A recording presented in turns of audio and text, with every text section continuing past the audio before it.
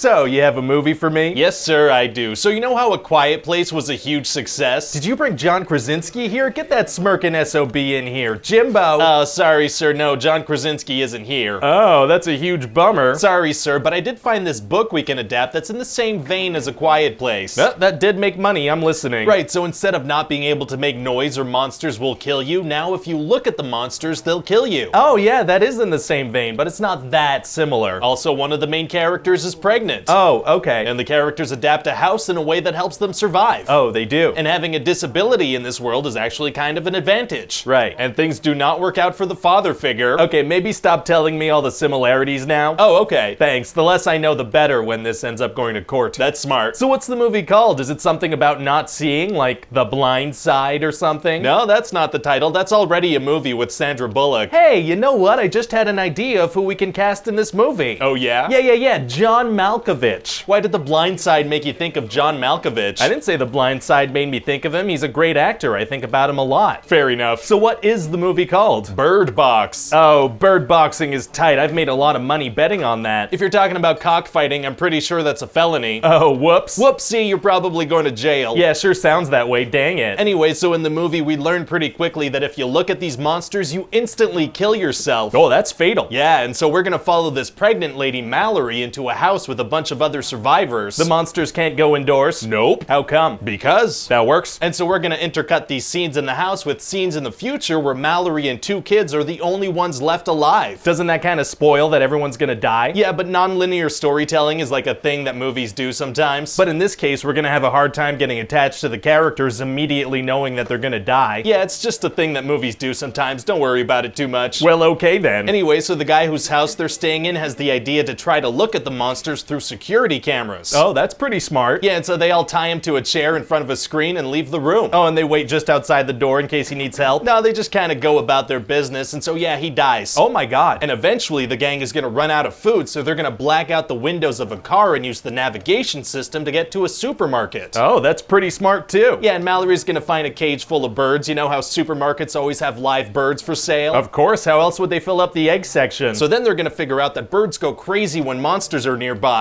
Is that helpful to know? Yeah, and this way she could carry around a box with birds in it and know when the monsters are close. Doesn't she just always keep her eyes closed outside though? Of course, she even has a blindfold. so I don't understand why she needs a bird box. Do the monsters physically attack them too? No, it's just if you look at them, you kill yourself. So so if the bird chirps, they They they close their eyes extra tight, I guess. I guess that's helpful. yeah, yeah, yeah. So I guess the survivors decide to live in the supermarket then? well, this mean guy Douglas suggests that, but Mallory's like, "No, we're going back to the house. We left some people there." Well, why don't they do a couple of back and forths and try to bring everyone to the supermarket? Well, they're gonna find out that there's a crazy guy locked in the garage, so you know it's not safe there. I mean, if he's locked in there, all they have to do is not open that door. It's still a great place to live. I mean, he'd bang on the door the whole time, though. oh, okay, that place is not an option anymore. exactly. That'd be super annoying. So how is this guy crazy exactly? Oh, well, it turns out that the monsters don't make criminally insane people kill themselves. Instead, they try to show other people the monsters. Oh, they do? Yeah, because crazy people can't go crazy. They're already crazy. I feel like using people with mental health issues as bad guys in the movie might be a little problematic and insensitive. Oh, no, it's okay. One of my best friends has mental health issues, and he says I can make these kind of jokes. That's definitely not how that works. Oh, whoops. Whoopsie. Anyway, so the gang's gonna accidentally let a crazy guy into the house. Oh, boy. Yeah, and when Mallory and this other pregnant lady, Olympia, give birth, he's gonna go on a rampage. How long of a rampage are we talking? Like five minutes or so. That's how long it takes to give birth, right? yeah, about five minutes. So then everybody's dead except Mallory and two babies and this guy Tom. Wow. And then five years go by. What happens in those five years? Nothing. Don't any crazy people manage to find their house in five years? I guess not. Isn't it painfully obvious which houses have survivors in them, seeing as the windows are boarded up? yeah, you'd think so, but no, everything works out. Well, okay then. But then on a supply run, some crazy people find them and kill Tom. oh, that's too bad. So then Mallory takes the kids on a river for two days because someone on a walkie talkie said there was a safe house. oh, interesting. But the guy also said when they get to these rapids, one of them's gonna have to take their blindfold off. wait, what? Yeah, because the rapids are too dangerous. One of them has to navigate. If the rapids are so dangerous, shouldn't they get out during that section? well, no, because a crazy person might find them. well, then they could jump in the water, but that's definitely not a good first option. well, it's gonna be their first and only option. what if the person that takes off their blindfold instantly sees the monster? Then they're all dead. Yeah, that's a good point, but Mallory's gonna end up deciding that none of them are taking their blindfolds off. What? Yeah, she was gonna make the little girl do it, but then she's like, nah, it's fine. Let's just go. Well, it's gonna be impossible for them to get down the rapids blindfolded. Actually, it's gonna be super easy. Barely an inconvenience. Oh, really? Yeah, I mean, the boat flips over into the freezing water, but they're all fine. How do the kids even know how to swim? Well, swimming isn't that hard, and jumping into freezing cold rapids is a great way to learn. oh, it is. That's how my brother and I were taught when we were young. and and that worked out okay? Yeah, I mean, my brother is still swimming to this day. I never saw him again. Oh my god. What's up? I mean, I mean, I think your brother may have drowned. What, what are you talking about?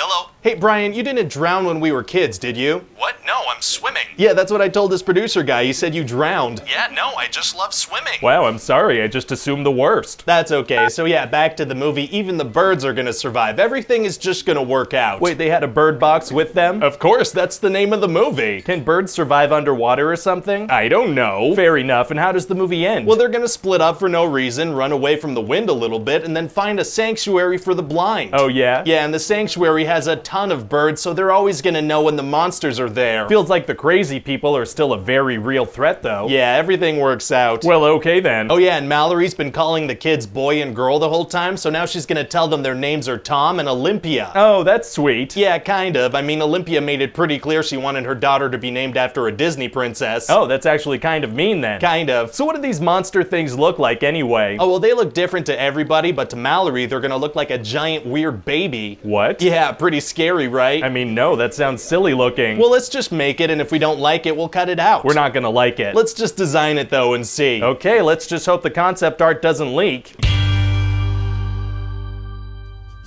Hey guys, it's Ryan here. Hope you enjoyed that pitch meeting. We have a lot more of these on the channel that you can check out. You could also let me know in the comments section what other movies you'd like to see these pitches for. Don't forget to like and comment and share and subscribe. And as always, check back soon for a new one. Bye bye.